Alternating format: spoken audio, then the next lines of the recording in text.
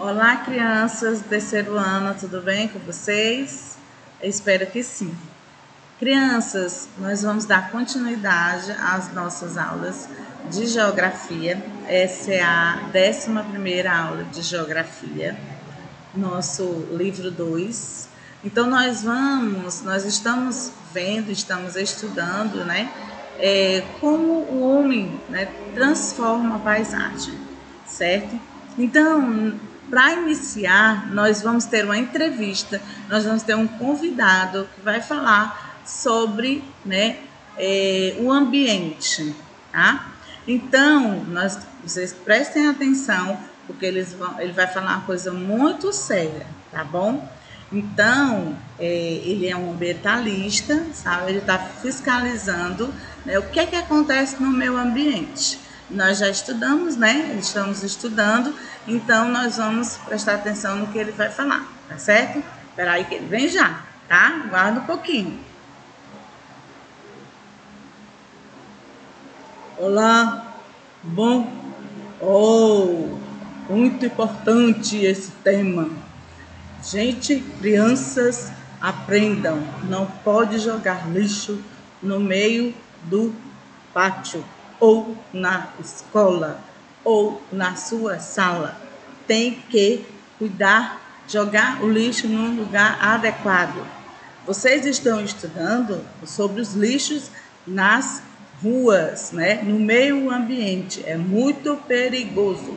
Trazem doenças, né? os, os bichos, os insetos. Então não podem fazer isso. Né? Tenham consciência, tá bom? Ok, ok, olha só. Que legal, né, gente? Então vocês viram? E ele falou uma coisa muito importante, né? E ele vai falar mais um pouquinho. É porque ele foi beber uma água, né? Nós vamos aqui continuar falando sobre, né? Olha só, nós estudamos, eu vou botar um pouquinho aqui. Nós estudamos, né, sobre o lixo que nós consumimos. Por que, tia, que nós consumimos? Porque, por exemplo, como tem aqui no próprio livro, né? Nós já comentamos né, com vocês, né? Nós já falamos sobre isso. Então, fala que nós consumimos o próprio lixo. Como assim? Tem coisas que nós compramos, eletrodoméstico, outras coisas, utensílios, que não usamos, não é? Consumir, compramos para essa compulsão de comprar, comprar, comprar, e como vemos, está um monte de coisa em casa, sem utilidade, não usamos, e aí vai o quê? Vai acumulando, né? E esse acúmulo de coisas, eles vem o quê? Trazem inseto, né? Chamam insetos, barata, ratos, fora outros, né? Nocivos que vocês já sabem, né? Então não pode. E esses eletrodomésticos, nem, nem todos os nem todo lixo, né, nem toda é, a gente pode botar numa calçada para levar para o lixo levar, vocês sabem. Então tem que ter um lugar apropriado, né? Nem sempre temos esse lugar apropriado. Então tem que ser jogado no lugar apropriado. Descartar os lixos, né? A fazer a coleta de lixo, coleta de lixo seletiva, né? Colocar um lugar do, dos plásticos, né, os lugares dos orgânicos, os lugares né, dos vidros. Então, nós estudamos isso aqui, que tem bem aqui, ó, falando um pouquinho mais. Estou mostrando vocês para relembrar, tá? Então, aqui, olha só, lembra que a gente falou com a coleta seletiva do lixo? Olha só, em casa mesmo você pode separá-los. Ó, aqui nós temos os orgânicos, Aqui nós temos né, os papéis, né, papelão, e aqui nós temos plástico. Então, olha só, essa coleta aqui foi feita, está sendo feita em casa e é muito fácil você fazer também, tá bom? Então, vamos dar continuidade. Aqui nós fizemos em sala de aula, fizemos já também né, na aula que a tia já passou para vocês.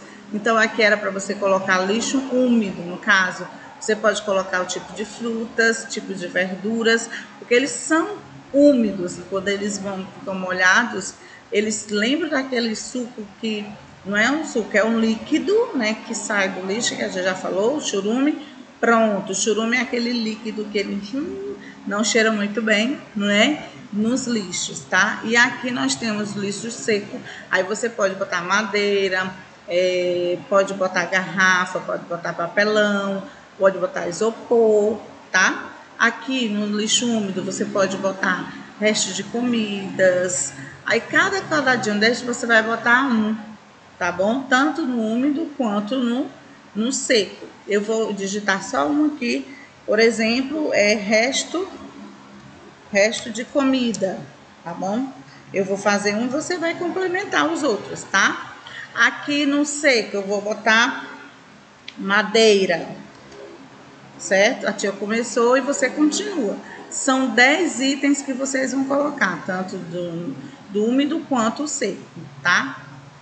Como a tia já falou sobre os produtos eletrodomésticos, né, que você não tem, eh, não, não a gente vai, vai juntando, vai juntando, né, não, e, e é muito tempo, se você jogar no lixo, ele passa muito tempo para se decompor, tá? Aqui nós falamos sobre a parte ambiental da natureza, né, que nós temos que fazer algumas atividades importantes para cuidar da natureza, preservando né, o meio ambiente, não jogando né, os produtos, nem, nem, nem nada que possa prejudicar o solo também, né, que vocês sabem.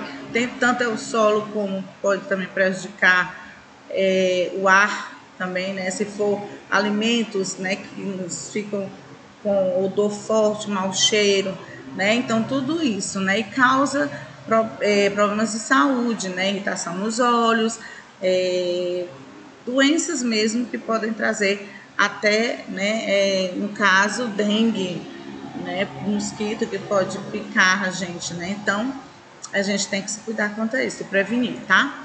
E nessa página aqui que nós vamos fazer hoje, com a lupa na mão, é falando, né, da vegetação, que o homem, vocês sabem que o homem, o ser humano, né, ele, ele tem coisas, tem ambientes que ele é, é modificado, é, pelo ser humano, mas tem ambiente que sai, quanto a isso, fica prejudicado. Por exemplo, aqui nós temos né, as, os dois mapas demonstrando né, o, como é a, a, que acontece essa, essa devastação na, na, nas vegetações, né, que o homem ele tira, ele né? ele corta, né? ele tira árvores da plantação. Isso aí vai o quê? Prejudicando, né? como vocês sabem. Então, na primeira questão, faz, faz assim, pergunta assim. Observe a legenda. Você sabe o que significa o termo modificado? Sabe, né, pessoal? Modificado é o que foi mudado, é o que foi é, mexido, né? Então, só procuro na palavra no dicionário, mas com certeza vocês já sabem. E aqui está falando aqui, ó, que se modificou, que foi alterado, teve alteração, que foi modificado, né, que foi transformado. Então, esses significados aqui, tá bom? Tia, mas eu achei outros no dicionário. Ótimo, no dicionário tem vários, tá bom? Aí na segunda questão fala o seguinte: o mapa nos mostra diferentes tipos de vegetação que é a cor que mais, qual é a cor que mais aumentou? Então vocês podem perceber ó, que esse primeiro mapa e o segundo mapa. Olha a mudança aqui, ó, a diferença aqui nessa região, tá? Então, o que foi a mudança? A cor que mais aumentou foi a laranja. Olha aqui também a laranja, ó. Aqui tem bem pouquinho laranja, aqui tem mais, ó. Sabe por que, que essa modificação? Pelo ser humano, ó tá? Então, o que mais modificou foi a cor laranja, que corresponde às áreas modificadas pelo ser humano, que o homem mexeu, que o homem modificou, tá? A terceira questão, pessoal, nós temos aqui a área modificada. Aí ele pergunta por que, que essa área modificada, a cor da laranja significa o quê, né? Então, a área modificada pelo ser humano que foi a, a que aumentou mais em relação às vegetações naturais. Então, olha só, o que foi que aconteceu? A modificação laranja foi mais do que a vegetação, né? O ser humano modificou a área, certo? Aqui, gente, nós estamos falando, como vocês já viram, né, como vocês estudaram em casa, sobre justamente essas modificações E por que, que tem essas modificações? Né? Pelo homem, né? através do homem. E aqui ele fala também nessa página sobre os, os aparelhos, diversos tipos de, de aparelho né? que ajudam, utilidades, de métodos que servem para ajudar né, a, a pesquisar, a ver as áreas que estão danificadas, né, no caso, a vegetação. Então, aqui nós temos, ele, ele fala, ele cita, né, que tem o que? Os estudos, né, que tem as pesquisas espaciais, que tem os estudos ambientais, que tem a comunicação de defesa, né? Então, isso tudo aparece o quê? Tira de quê? Dos satélites artificiais tá? Então, os satélites é, artificiais, como tem aqui diversos tipos de satélites, eles, eles capturam né, tudo que tem lá na área e vê o que está acontecendo, se a área está é, sendo é, mexida, modificada, né? Se a área está se tá tendo incêndio, então tudo isso aqui tem possibilidade de visualizar, tá bom? Aí aqui no caso, gente, é, tem também os, os, os, pesquisadores, né, os, os estudiosos, que eles ficam, né, os cientistas, eles ficam observando. Tem pessoas justamente preparadas para isso, para observar, para ler esses mapas, né, para ler o que foi o que foi mostrado, o que está sendo mostrado, tá bom? Tudo bem.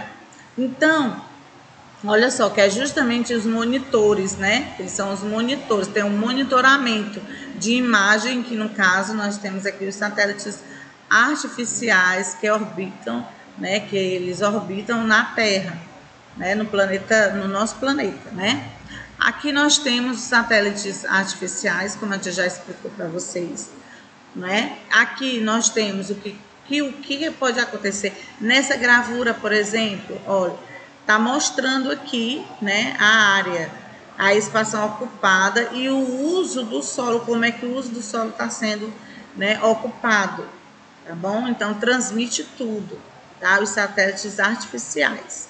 Agora, gente, nós vamos para nossa mão na massa.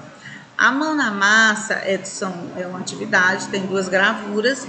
Essas duas gravuras do início, né, em mil, bem, bem no comecinho do Rio de Janeiro, né, quando logo quando foi né, fundado o Rio de Janeiro, em 1889, e aqui né, o Rio de Janeiro atualmente. Então, essas duas gravuras para ver a diferença e colocar a diferença que há entre essas duas gravuras, tá bom? Então, aqui nós vamos observar, olha, as duas gravuras, as duas fotografias, né? Preste atenção nas duas fotografias, tá bom? E aqui ele pergunta: as fotografias se referem a um mesmo lugar no Rio de Janeiro.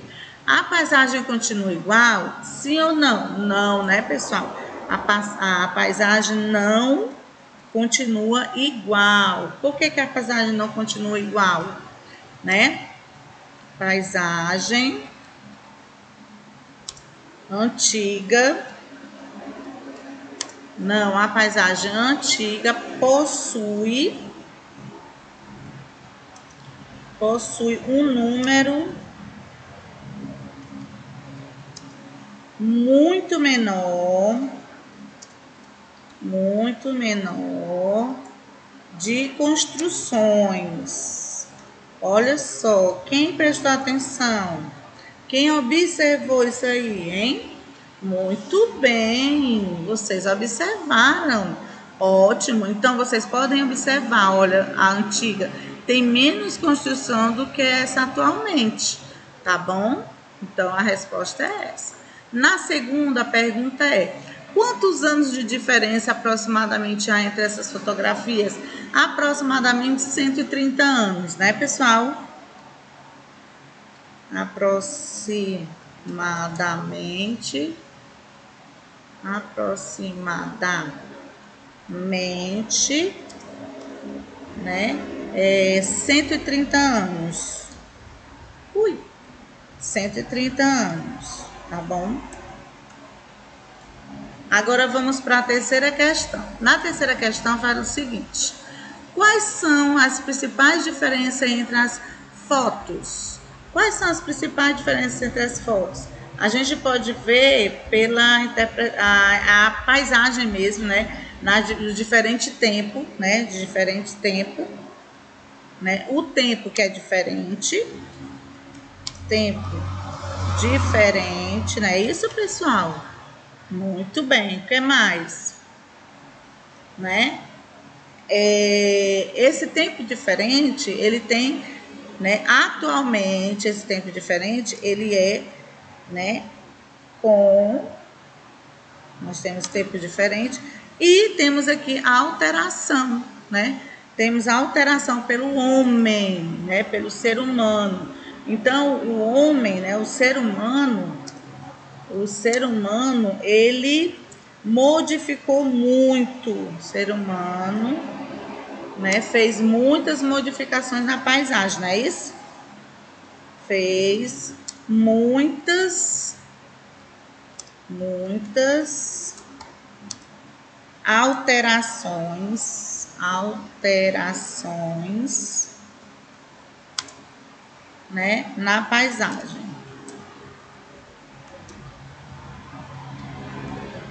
Certo?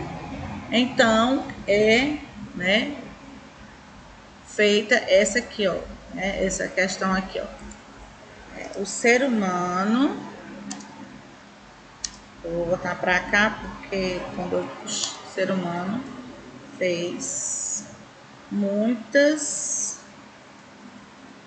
hum, muitas alterações na paisagem. Certo, pessoal? Ok? Todo mundo prestar atenção? Muito bem.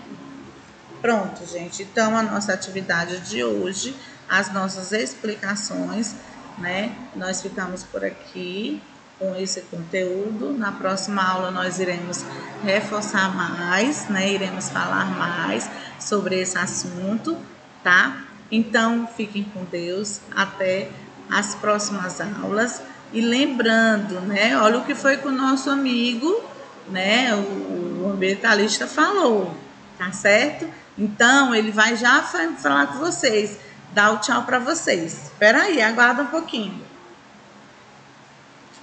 Olá, crianças. Tchau.